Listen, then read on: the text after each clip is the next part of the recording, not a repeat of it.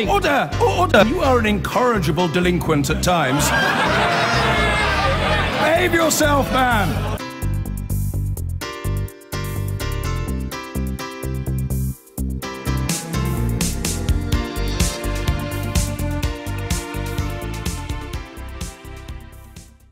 Let's kick off with the continuing fallout from Theresa May's election manifesto, and in particular, her plans for changing the way in which elderly people pay for care in their old age. The Conservative manifesto, published last Thursday, promised that the state will pay these costs once an individual's assets dip below £100,000. But the policy came under fire from political opponents who have variously described the plan as a death tax and a dementia tax because old people who need care wouldn't have their overall costs capped. Well, in the last half an hour, Theresa May has been speaking in North Wales, where she announced her social care plans would now include consulting on a lifetime cap on how much individuals would pay for their own care. So I want to make a further point clear. This manifesto says that we will come forward with a consultation paper, a government green paper, and that consultation will include an absolute limit on the amount people have to pay for their care costs. So let me reiterate. We are proposing the right funding model for social care. We will make sure nobody has to sell their family home to pay for care. We will make sure there's an absolute limit on what people need to pay. And you will never have to go below £100,000 of your savings, so you will always have something to pass on to your family. Theresa May. Theresa, she's folded. It took 24 hours for her to perform a miraculous U-turn on one of her key policies on how social care will be funded in the future. The Prime Minister's obviously listened to the concerns people raised, and I think the introduction of, um, of a cap is, is a welcome clarification of this set of proposals. We do need to reform the way social care is delivered and funded. The greatest threat to our ability to safeguard people in their old age is actually um, a weak economy, and that's what we would get if we elected Jeremy Corbyn as Prime Minister but and you, him in charge of Brexit negotiations. You called it a clarification. It wasn't a clarification. It's a complete about turn. There was no mention in the manifesto just days ago of there being a cap on the costs that you could pay if you had assets over £100,000. There was just a floor. Was that the wrong policy? Well, this this is a significant announcement that the Prime Minister's sure. just made this afternoon. Was this it the wrong policy? Change. Was it the wrong policy in the manifesto? I think it's it's improved with the clarification that um, a cap will be consulted on. I think that was an important element of previous debates over social care. So I welcome the announcement today, and I believe that there'll be many people out there who will also welcome it. Right, although it was very clear it was a break with previous stated government policy that did say there should be a cap, and she went against that. So why has she changed her mind? Because she's listened to the concerns expressed about how the policy was set out in the manifesto, and she's made a significant change which I think many people will welcome. Right, because it was called and hailed a dementia tax, which is true, isn't mm. it? It was a roll of the dice. Mm. If you were unfortunate enough to get dementia in old age, then if you had assets over £100,000, you could see all of it potentially go. If you didn't get dementia in your old age, or you got another sort of illness that could be treated in the NHS, then even if you had valuable assets, you wouldn't have to pay a thing. I don't think it's fair to have characterised these proposals as a dementia tax. The reality is people already pay for their social care if they've got It doesn't include their house. It doesn't include their house though in the calculation, does it? And but that would I, have done. As I say, everything depends on a strong economy and only Theresa May and the Conservatives can deliver a strong economy and a successful Brexit. If we jeopardise that, we won't be able to care properly for our frail elderly population. I mean, Chukwuemeka, it wasn't that long ago, was it, that Gordon Brown suggested a very similar policy, which was dubbed a death tax, you may say now very unfairly, mm. by mm. the Conservatives at the time, with a maximum of £20,000 being paid after a person died to pay for the social care that they might have used while they were alive. So, so what was the problem? Well, the problem with this is that there was no cap as uh, under the original plans. We haven't been told what the cap is, but I'm sorry, this idea that somehow the Conservatives and people sat in Conservative cabinet since 2010 have been good for social care. Theresa, what you guys have done to social care in my area is absolutely criminal. What is because what has happened? What has happened is they have heavily, heavily cut the budgets of local authorities, which has meant, in turn, they haven't been able to provide the social care that we need. That has then had a knock-on effect on the NHS because it's meant more older people going to A&E, and when they go into hospital, less likely to be coming out because there's nowhere for them to go afterwards. That is the reality of what you have done since 2010, and ultimately, the only way we're going to be able to resolve this, first of all, you've got to have decent integrated care for our elderly people, which looks after their mental, physical, and social needs together. And we all have to make a contribution. But the idea that you dump the entire burden of sorting out your social care with the families concerned, without the rest of true. That's society not what this playing a role. would. But that is what your proposal originally was going to do. Well, let- and I don't think let it'll take Ther- any more well, let this kind of Theresa- let- strong and stable government. Let Theresa, chaotic. an- let, Theresa an- let Theresa answer that because that was the reality, wasn't it? That actually it was an inheritance tax. In fact, UKIP, I think, dubbed it um, a conservative death tax. It was an inheritance tax on anything over £100,000. Look, as I said, the reality is that people already contribute towards the cost of their social care. That isn't changing as a result of the proposals in the Conservative manifesto. But there wasn't a cap. One of the reasons, one of the key reasons for pressure on social care is we are an ageing society. So Theresa May is determined to take the tough decisions to put social care funding on a the rug from sustainable basis. people, Theresa. And the- You've taken away the what is funding. crucial to doing that is a strong economy, which we will not get if Jeremy Corbyn is our Prime Minister and in charge of our Brexit negotiations. All right. You must be one of the MPs who voted for a no confidence motion in Jeremy Corbyn. He is not the right person But Theresa, to run our Viz, we are talking about the social sir, care when it policy. comes to Social, care, care. let me tell you something. I will always have far more confidence in my Labour Party than your Tory Party. All right. Well, then on that, on that, Chuka, I mean, what is the cap that Labour would put in? Because it's not clear from your hmm. manifesto. It is absolutely true that Theresa May has said now she's changed her mind that there will be a lifetime cap on costs. But what's the cap in the Labour manifesto? Well, there is no cap in the Labour manifesto Right. because we would do this differently, and we've already been clear that we'll put more money in social care. Now, hang on a second, but How let's look at the policy. No, because it's not different. If you look at the social care policy in the Labour manifesto, you would also have a floor Yeah. and you would have a cap. Yeah, so, in that sense, it the same. I don't know what the cap is, but the difference is would we yank away the funding from local authorities which provide social care for people? And how much ultimately money will you put back into social- Well, we, uh, local well, we have authorities? a- I mean, I mean, one thing I will agree with Theresa on is that we have a different economic policy, and we wouldn't basically massacre public services. And so that way, I mean, I just looking at uh, Lambeth, where I've been representing. It will mean our local authority will have decent funding to provide the care that elderly people in my community need. That will be ripped away under the Conservatives. And we actually see a role for society, the family, all of us Sure. playing our part and Right. not having the entire burden sitting with the family. Well, Now, if you're except, hang on. For, for an exact cap, I don't know. No, no, no. I know you don't know an exact cap, and that's fine. You've said that, and we now know that Theresa May hasn't said uh, Hmm. what the cap will be. But it does say in the Labour manifesto we will seek consensus on a cross party basis Yes. about how social care should Yeah. be funded, with options including wealth taxes, Yeah. an employer care contribution, Yes. or a new social care levy. So you are looking at the same options that Theresa May has now clarified, to use your words. Well, I mean, we don't quite know what she's proposing. No, no, All we know what, is that what would you prefer out on the Labour manifesto? a wealth at- tax, an employer well, care we're contribution? Looking, we're looking at a range of options. I actually quite like the proposals that were put forward by Andrew Dilnot, who did try to come up with a cross-party solution on this. And, and, and I'd say one thing, actually, Joe, you're being totally fair in asking me this question, in the sense of ultimately, one government won't be able to make a decision about the future of social care. It's going to be a multiple government thing, which is why we do need to build a consensus on it. All right, let's go back to the issue of leadership, which Chuka Umunna raised. And the point is, Theresa, there's nothing strong or stable about the leadership that Theresa May has shown when it's come to this social care policy. Because it looked as if it was hurting the Tory party's election prospects, she's had to change the policy and U turn. I, d- I wouldn't characterise it like that at all. I think she is definitely the right person to be Prime Minister, to be running our economy, to be leading our Brexit negotiations. Well, if she was so strong, why has she had to change the policy? Why has she felt the need?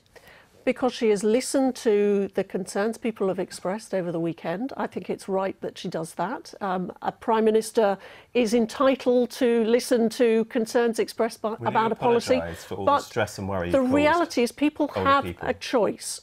On the 9th of June, Do they want Jeremy Corbyn standing on the steps of Downing Street or Theresa May? 11 days after that, we'll start our Brexit negotiations. All right. Do they want Jeremy I know you want to talk about Brexit. I know you want to talk about Brexit, but this is a big policy change that has been announced today.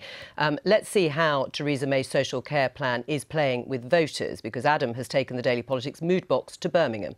Adam, what was the mood box question? Hi Joe, greetings from a slightly breezy Birmingham where there's also a bit of a building boom, so if you hear any digging or drilling, I do apologise for that. Yes, the mood box question we asked before the Prime Minister did her speech today was about which party leader do you trust to sort out this whole issue of adult social care? Is it Theresa May or is it Jeremy Corbyn? Worth remembering Jeremy Corbyn's policy proposal is to have an extra 8 billion on social care by the end of the next parliament and in the longer term to set up this national care service which would need an extra 3 billion pounds a year. Here is what Brummies had to say about this issue.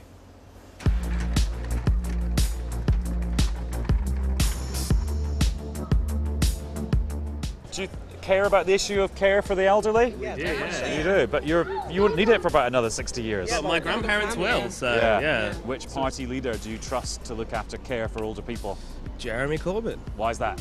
Because, like the Labour manifesto, it's laid out well, it's costed well, and it's done in a way that reflects like nicely on most of society and gives older people and young people both a chance. Unlike the Tories that have their weird kind of death tax thing, that's just not have you been sent here by Labour HQ?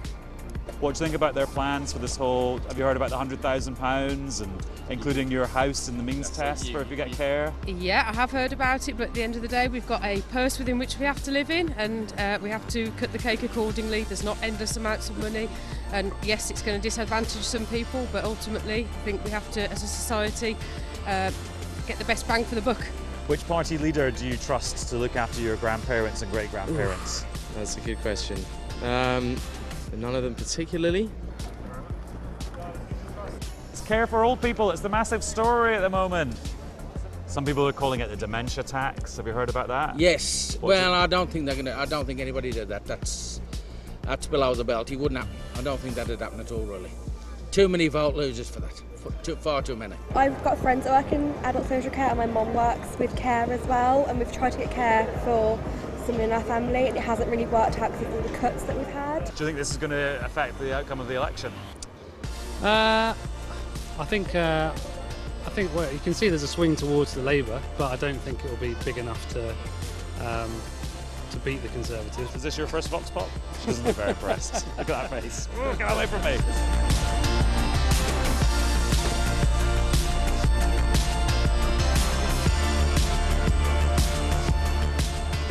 When it really comes down to it, I think a lot of people uh, have a sort of altruistic view, except when they have to put their hand in the pocket. Who do you trust to sort out care for the elderly? Corbyn, Yeah. Why is that? because I don't trust a Conservative. Probably Corbyn, Okay. Why is that? uh, because I think he's a more genuine guy. This whole issue about like care for older people does it, has it affected your family or anyone? It you know? has done in the, yeah, it has done in the past. Yes, yeah, yeah. Not- what did you think of the system that was in place? A mess. Do you think it'll ever get fixed? The system? It'll ever stop being a mess? Not that in my lifetime, I don't think. Well, it's totally unscientific, but it looks as if a big majority of people think Jeremy Corbyn is the person who can sort out care for older people. Thank you very much, Birmingham. And thank you, Adam. Of course, it's unscientific, but just taking a look at that anecdotally, um, Theresa Villiers, Corbyn on the side of the elderly and the Tories and Theresa May not. Was it just too complacent to bring out a proposal like the social care one that was half baked? Well, the, the motivation behind the proposal is to put social care on a sustainable financial basis. But you know, the, the reality is the polls have tightened. This is a real contest. Um, it's it's not easy to predict the outcome of the election. So was it too So- complacent? Should she not have put out a policy that was going to be controversial at the very least, if brave at best?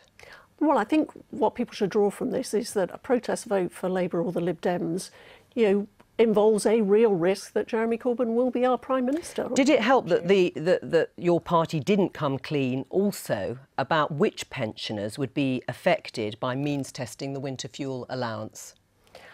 I don't think that is, um, you know, that, that is obviously an issue that we will need to address as part of a, a consultation on how to implement these proposals. If we're re-elected, that consultation will look at the level at which arrangements on the winter fuel payments are amended. You're causing people to. You just say this so casually. Up to seven, well, more than 7,000 older people in the constituency I've been representing since 2010.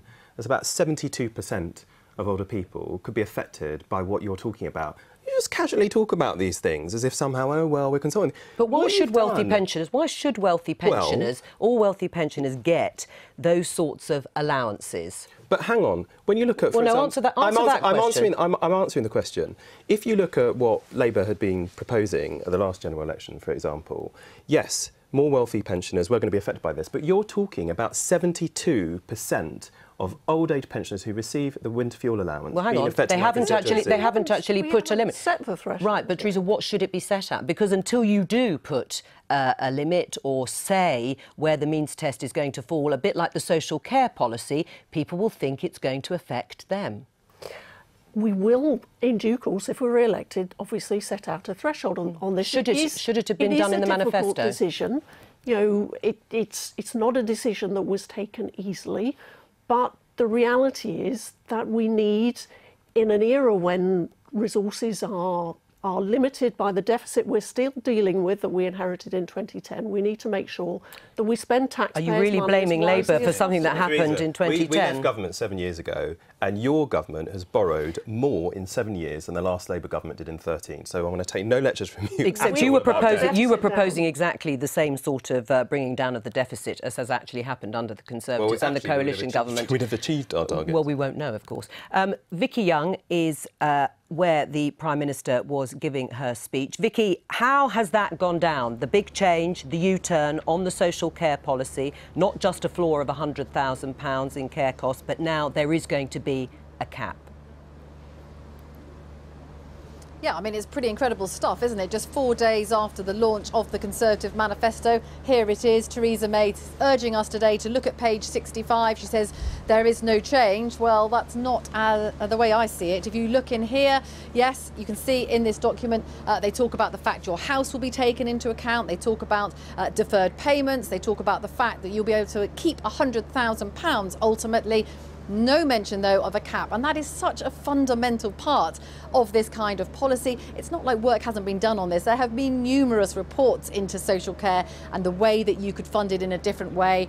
Caps have been talked about. Don't forget, David Cameron was due to bring in a cap of £72,000 in 2020. No mention of that in this document. So instead, Theresa May today insisting nothing has changed, that the principles stay the same, that she's going to tackle the issue of social care because everyone does agree that more money needs to go into the system. And instead, she's accused Jeremy Corbyn and Labour of spreading fake claims uh, and fear and scaremongering over people losing their homes. But of course, it's uh, everyone is free to read this document. Everyone will look at that and see that there was no mention there of a cap. And the fact that uh, yesterday Damian Green, her pension secretary, actually saying there'd be no rowing back from these proposals, um, that they had been decided, um, was the fact that she hadn't really consulted many of her ministers a problem in terms of putting out what her critics have called a half-baked policy that ended up looking like a dementia tax?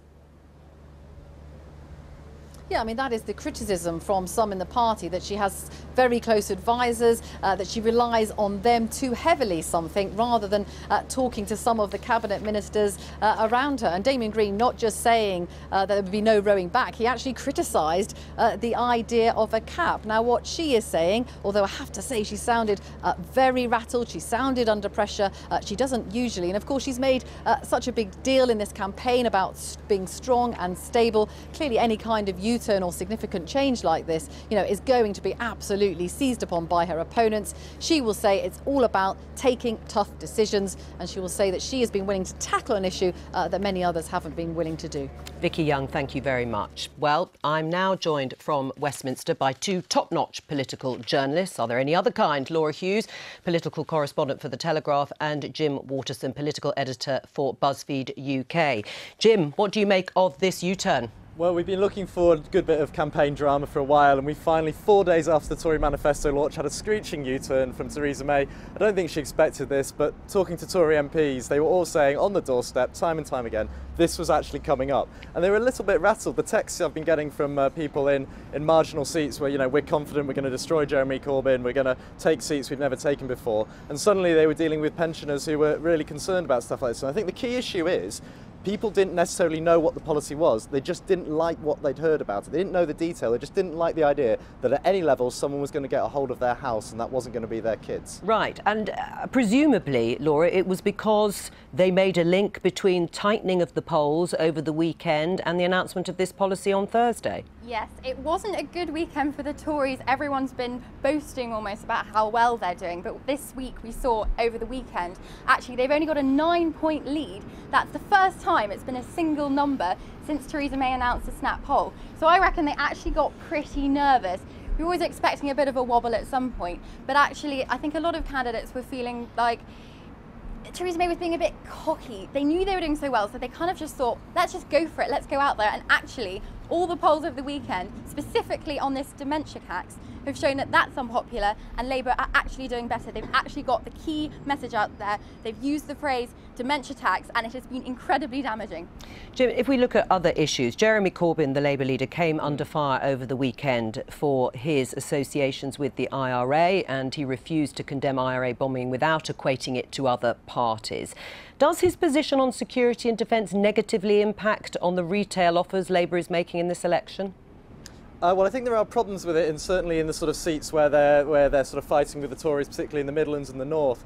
Um, I think one of the interesting things with the IRA and Jeremy Corbyn is uh, the way that the connection has sort of developed. So if you're under 40, perhaps you associate uh, IRA and things like that more with the Good Friday Agreement and the peace process, and so it's less of a toxic association. Whereas for a lot of older voters, the sort of people that the Conservatives need to get on side, that's where it really hits home. So it's interesting seeing, depending on the generational gap, it's playing slightly differently with different audiences. Laura, what about Labour's university tuition fees policy? How popular is that? I reckon it'll be very popular. Labour are clearly targeting the younger generations. We know that that's where Mr Corbyn's supporters mainly are from. They're saying they're going to scrap them entirely and that from this year, September, they will be scrapped so that students don't defer a year.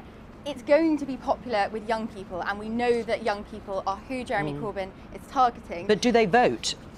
That's a very good Well, question. Well, there's a reason that they've announced it today, which is the final day to get people to register Exactly. to vote. And normally the problem with making an offer on tuition fees is that the people who are going to benefit are the next generation along. This time you can actually say to current students, Mm. right, vote Labour, get your education for free. Right, because of course it's happening this year. Just finally, um, Jim, I mean, this was supposed to be the Brexit election, as Theresa May had billed it, and she returned to that theme today, no doubt to distract from the change on her social care policy. But she was the one who decided to make it about public services to a large extent. I mean, is Theresa May's decision broadly parking her tanks on Labour's lawn backfiring? Well, uh, look, La- Labour's gaining in the polls. The thing is, the Tories still have a massive lead. The, there are a lot of issues around in the final weeks of the campaign. Polls tend to swing back towards the government, tend, tend to swing back towards the Conservatives in most places. So the problem is, I think it's hard to argue that Jeremy Corbyn's not had a surprisingly good campaign in the eyes of a lot of people, um, but he's still got a long way to make up. So. Uh, she, Theresa may be much happier if this was more about Jeremy Corbyn, who is fit to lead the country, and about Brexit than things like social care, and that's what we're trying to see today. Thank you to both of you. Enjoy the sunshine. Now Theresa May calls it a clarification. Opposition parties call it a U turn. Either way, the Conservatives have spent the day defending their decision to include a cap on the amount anyone in England will have to spend on social care. There was no explicit pledge to have such a cap in the party's manifesto last week, leading critics to label it a dementia tax. Labour accused the Conservatives of being mired in chaos and confusion over the policy, while the Liberal Democrats called it a manifesto meltdown. Here's our political editor, Laura Kuenssberg. Serenely rolling along, it had seemed, with only a few noises off. But an anti hunting protest was the last of the Tories' problems today. The manifesto created a mess over social care that had to be cleared up. The original version of the Tory plans were to be bundled away. It might not sound like it, but this is a big change to what Theresa May had planned. introducing a limit, a cap, on how much people in England could have to pay. This manifesto says that we will come forward with a consultation paper, a government green paper. And that consultation will include an absolute limit on the amount people have to pay for their care costs. You have just announced a significant change to what was offered in your manifesto, saying there will now be the possibility of a cap on social care that was not in the plans that was announced just four days ago. That doesn't look so strong and stable, Prime Minister, does it? It looks rather like panic in the face of opposition. Our social care system will collapse unless we address this problem. And we can't leave it to the future. We have to start dealing with it now. That's why I want to fix it and I'm going to fix it. And She was, though, pressed again and again, seeming exasperated by the end. Let's be clear. We have not changed the principles that we set out in the manifesto. We're very clear about the principles on which this system will uh, operate. She wasn't hanging around. Hang on, hang on, I've got to do something here. I've got to do something. And ministers, well, they didn't really want to talk about it either. Secretary of State, can we just ask you very quickly about the U-turn on social care? Secretary of State, can we just ask you very quickly about the U-turn on social care? When did Theresa May change her mind? A closed door. Because just yesterday, ministers were saying nothing was going to change. Is there any chance at all you're going to look at it again? No. But there were concerns inside the party. The Prime Minister herself had heard nerves on the doorstep.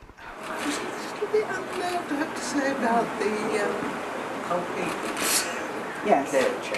The principle of who pays stays the same, but the change of heart's a gift and a source of gags for Labour. done another U-turn, Jeremy?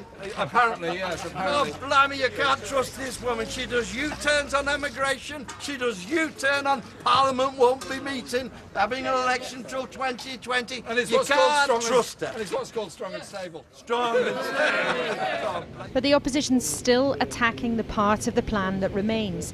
The value of people's homes in England will be factored in for all kinds of social care, even though assets below £100,000 will be protected. This is what happens when you have a government that thinks it's going to win with an enormous majority. Governments that have landslide majorities make bad decisions, big mistakes, and take people for granted. Social care's devolved, decided separately in Wales, Northern Ireland, and in Scotland, where her plans for the future will be published in the manifesto tomorrow.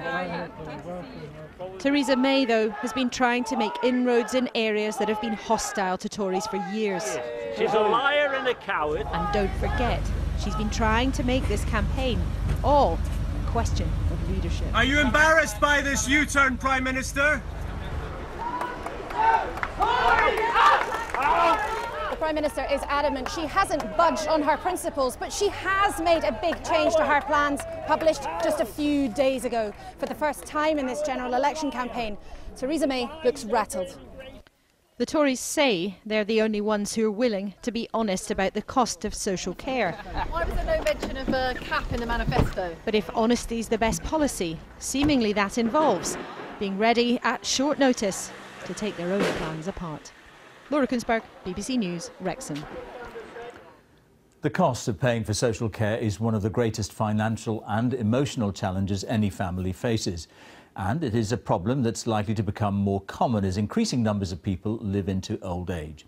Our social affairs correspondent Alison Holt takes a look at one family's reaction to the new Conservative plans. Pensioner Peter Martin is full-time carer for his 88-year-old mother Doris. Limited savings mean they qualify for council help, getting three visits a day. Like some more tea? I'll have a lemon tea. Yeah, okay, I'll make another cup of tea then. Peter has spent the last few days trying to work out what the Conservative care plans would mean for them. He believes they'd lose local authority help because the value of their home would be included in calculations for the first time. At the moment, we're paying £68 a month, and um, if the new system came into effect tomorrow, we'd be paying £950 a month. Would you like some? He also wants more details before being reassured by a cap on care costs. Under the new system, I see uh, only uncertainty. I, I see the the money disappearing very quickly, uh, the debt rising very quickly, and um, just a, a complete lack of certainty for the future. So, what would the Tory plans mean for people who need care? At the moment in England, anyone who has assets or savings of more than about £23,000 pays for their care. Last week in their manifesto, the Conservatives said they'd increase that, allowing people to keep £100,000. The value of their home would be included in the calculations for both residential and home care. Deferred payments would allow the costs to be recouped from someone's estate after death. But it was what was missing that has caused the controversy no mention of a cap or limit to the massive costs some would still face before they got council help. It had been a 2015 election promise. Now Theresa May says they will consult on what she calls an absolute limit, but doesn't say what that will be. Sir Andrew Dilnot wrote the report that said a cap on care costs was essential to help people plan ahead. Worried by last week's proposals, he welcomes this change. The proposals as they were described last week failed to answer one of the two big questions about social care. How is everybody going to manage the risks that they face? So people with last week's proposals were left with an enormous fear about the future. Putting a cap in place means that people will be able to manage it and that means this set of proposals is much better. Many questions remain about the costs and details of the plans, but for people like Peter and Doris, getting this right couldn't be more important. Alison Holt, BBC News. Well, let's uh, speak to Laura now, who's in Wrexham, where Theresa May has been uh, speaking this uh, today. Uh, Laura, just how damaging is this uh, for Theresa May? Well, George, this peaceful evening in Wrexham in Wales is a real contrast to a very bumpy day for the Prime Minister and the Tories. I think this has certainly been one of her, if not the most difficult day that she's had in this campaign, choosing to clarify one of the main ideas from her manifesto. Because in political speak, clarifying, well, that means changing your plans. And she did that without being to tell us, being able to tell us at what point this cap on social care costs might be introduced. Would it be £100,000? Would it be £10,000? I asked her that this morning. I wasn't the only one, and she was not able to give us a clear answer. And in the last couple of hours, the BBC's Andrew Neil has had another go and not getting very far with able to get an answer. What we're going to do, as we said in our manifesto, is publish. Um, we refer to a green paper. Of course, uh, a green paper, many people may not um, realise a green paper a is consultation. a consultation. So we want to take people's views, the views of charities, the views of others, on how the system should be operating. What I've said today So is we that we will have, size of the we will is. have within that consultation uh, that concept of uh, an absolute So, limit on the costs that people have to pay. finish. Well, ministers I've spoken to today have said, of course, the important thing is to try to get this right before setting out firm plans. So having a consultation is the right choice to make. They've also said it was better to deal with this problem now rather than risk the concerns over this policy overtaking the whole election campaign. But it is worth saying no main party leader has had to make this kind of change to a manifesto plan in living memory. The Tory manifesto was, after all, only published four days ago. And particularly when Theresa May has chosen to try to make this election campaign all about leadership, all about authority, all about her ability to make decisions. What's happened today suggests that she is rather more susceptible to pressure than the Tories would have you believe. Laura, thank you. It didn't take long, with poll numbers slipping just four days after their controversial manifesto pledge to make elderly people pay for their social care at home. Theresa May has abandoned the policy, saying the Tories would now consider a cap on costs. Labour said her government was mired in chaos and confusion, while the Liberal Democrats accused the PM of panic. Mrs May herself refused to reveal what the cap would be or how it would be paid for, instead denying any kind of U-turn. It's a kind of electoral generation game, as our political correspondent Michael Crick has been finding out with the Prime Minister in North Wales. Theresa May was greeted in Wrexham this morning by a noisy protester. This is the fascist state that we're living in! And came here amid other noises of a big policy change. And who should have the story first but George Osborne, sacked by Mrs May as Chancellor and now editor of the Evening Standard. U-turn coming on social care. There will be a cap, tweeted Mr Osborne, who knows a thing or two about U-turns. And when the PM announced her new policy, she blamed it with echoes of Donald Trump on someone else. Since my manifesto was published, the proposals have been subject to fake claims made by Jeremy Corbyn. The only things he has left to offer in this campaign are fake claims, fear and scaremongering. So I want to make a further point clear. This manifesto says that we will come forward with a consultation paper, a government green paper. And that consultation will include an absolute limit on the amount people have to pay for their care costs. How odd when only this weekend cabinet ministers were dispatched to TV studios to defend the policy as it was. We have to do something about the huge costs of social care. And I think it's a mark of Theresa May's bravery and candour with the electorate that uh, she is doing this. People hate this policy and it makes them very, very nervous indeed. Is there any chance at all you're going to look at it again? No. And last week, the minister in charge of social care was plain the idea of capping care costs had now been ruled out. And not only are we dropping it, but we are dropping it ahead of a general election, and we're being completely explicit in our manifesto that we're dropping it. And we're dropping it because we've looked again at this proposal and we don't think it's fair. Pressed by the press, the PM seemed a little rattled.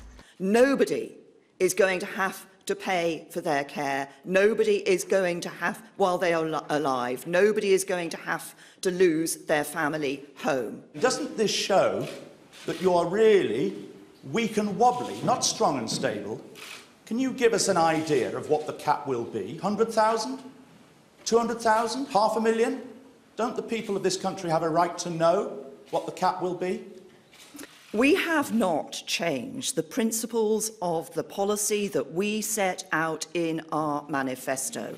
Those policies, those policies remain exactly the same. There will be aspects of how this operates that we will consult on through the Green Paper. We were honest that we were going to have a Green Paper and that we would be consulting people on how the system operates. What we have done, which other parties have singularly failed to do, is to recognise the challenge that we face, to respect the needs and concerns of the British people, and to provide a long-term plan for sustainable social care. Not far away in the village of Hawarden, a solid memorial to one of Britain's longest-serving prime ministers, the Gladstone Library. And the grand old man changed his mind too, on issues such as slavery and Ireland. But William Gladstone's occasional U-turns weren't made in the middle of election campaigns. And today, Sir David Butler, who's covered 20 British general elections since 1945, said that he couldn't remember an election U-turn on this scale. Yet the irony today was the opposition parties agreed with Theresa May this cap wasn't a U-turn and nothing had really changed. They haven't said what the cap is. They haven't explained to the millions of people who are desperately worried at the moment about what kind of care they're going to get in the future, desperately worried for children as well about how their parents are going to be looked after. This is a government in chaos and confusion. Do you not think if there was a cap that was in any way palatable, she would have mentioned it today? The absolute chaos of Theresa May's statement today is only added to by the cruelty of her thinking that these weasel words will somehow allay the fears of millions of people in this country whose homes are at risk. As Theresa May left, an ITV poll here suggests her party in Wales is now 10% behind Labour. Yet the first election poll in Wales last month had the Tories 10% ahead. Well, our political editor Gary Gibbon is in Downing Street now. How bad is this? Well, it's not very good. As Michael was saying, it's pretty much unprecedented. There's a hole where a policy should be, a brand new minted policy.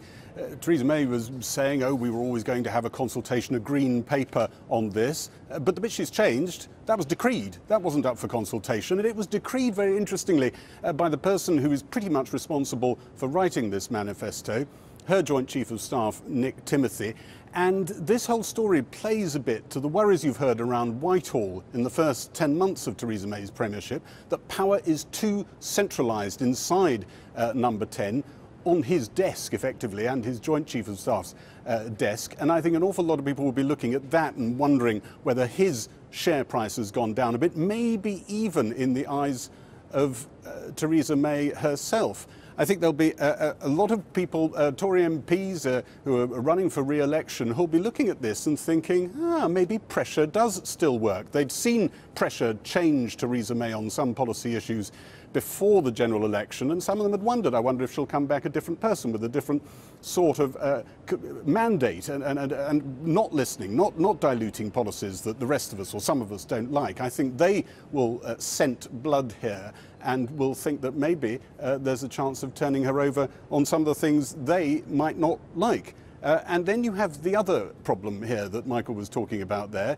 Theresa May repeatedly saying nothing has changed when something palpably, clearly, on television, in print, has changed. And you don't, as a political leader, get too many opportunities to uh, snap the elastic uh, in that way. And I think Theresa May will be very wary of saying that sort of thing again. So what does she do next?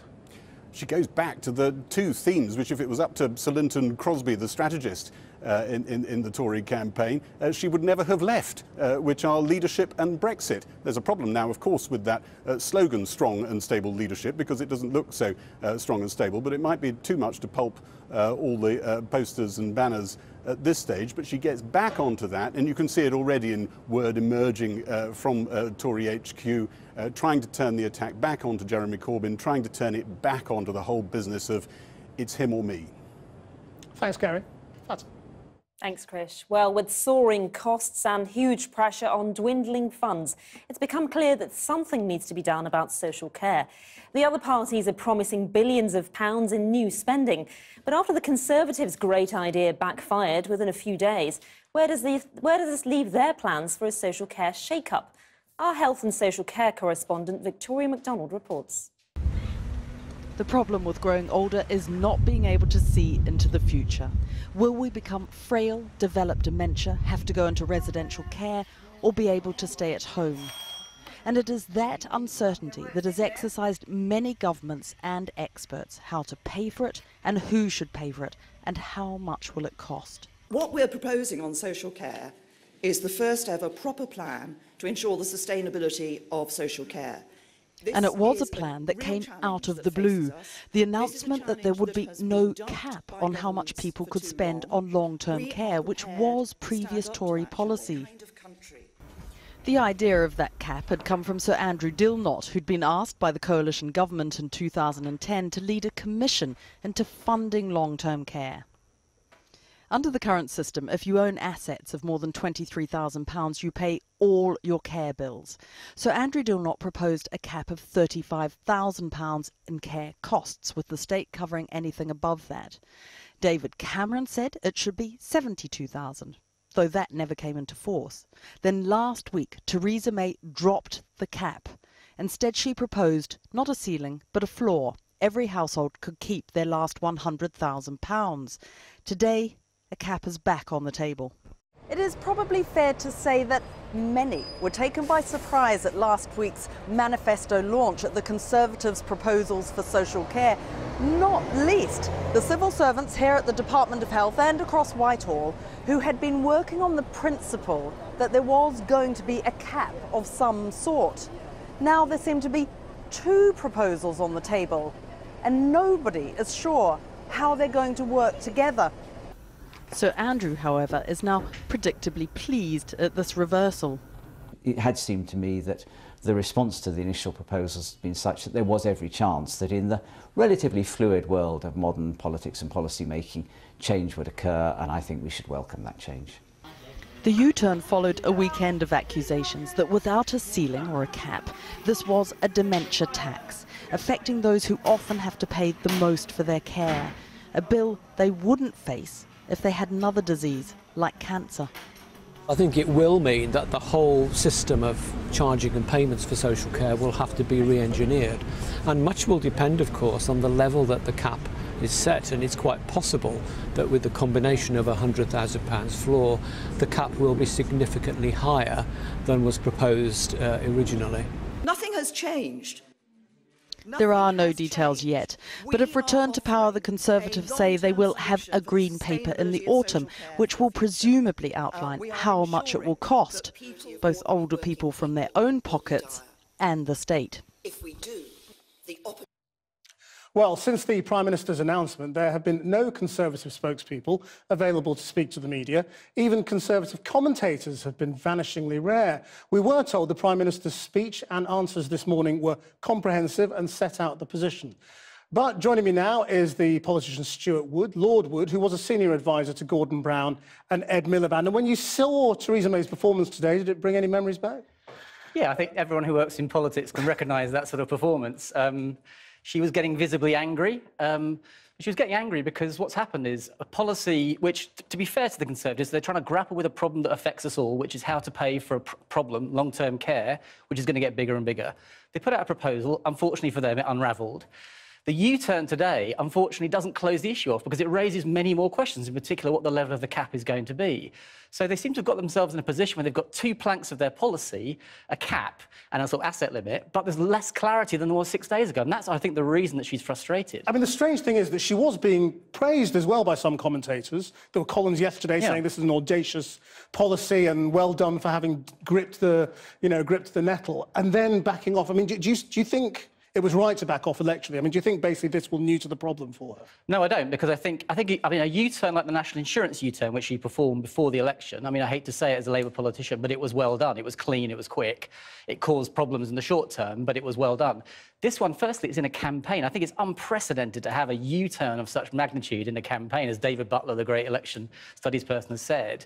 But secondly, to come up with a solution which just raises many, many more questions, I find that a very odd thing to do. And it mirrors the winter fuel payment ID. They, they said in their manifesto they'd means test that too, but they didn't say who's going to be means tested. So everyone now thinks they may be caught in the net of the means test on both But I mean, Labour have backed off this twice before, haven't they? Before 2010 and again in 2015, when it was branded the death tax by the Conservatives. There was a pathetic lack of political courage. I do, I do think, I mean, I think you have a point. I do think that there has been a culture in this country for the last five years across parties of not grappling the issue. And anyone who comes up with a proposal like Andy Burnham did immediately gets slammed down by newspaper editors and opposition parties, and they get they sort of retreat in, into their into, into, their tunnels, you know, and I think that is a problem. And I think be, the good thing about all this, although Theresa May tonight won't be thinking there's anything that's good about this, is that there will now be a national debate about a very tough question of the balance between caps and charges and assets that will be liable for all this. But, and that's but weirdly, I mean, um, I mean, Ed Miliband, your former boss and, and colleague, has said Theresa May is lying, but Jeremy Corbyn has basically agreed with her and said, yes, I agree, nothing has changed. Well, in some senses, nothing has changed, and that there's a lack of clarity about what, who exactly is going to pay what, and that she hasn't really dispelled that.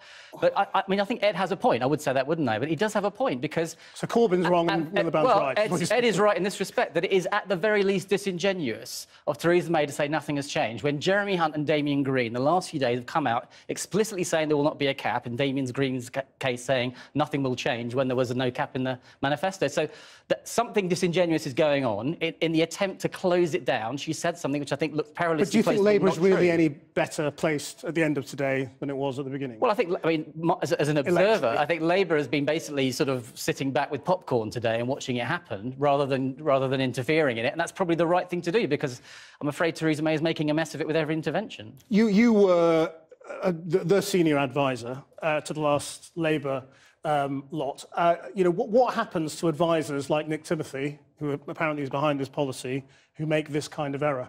Well, I mean, we had we had elements of uh, we had moments in our campaign last time, 2015. People remember the Ed Stone, which you know, to put yeah. it mildly, Was that you? That wasn't didn't you. go well. It's a collective thing. I, won't, I, won't, put anyone's name in the frame for it. We all accept responsibility for good and bad things. But when that happens, and you know who the people are involved, you, you know, you've got to turn around. And... He'll probably get a peerage. Thank you very much. Oh, I see, someone else. You've got, to, you've got to, you know, wake up the next day and get on with it. And I'm sure that's what they'll do. They're professionals, they'll do that. But they'll try and draw a line. It's going to be quite difficult to do that now, I think. Lord Wood, thank you very much.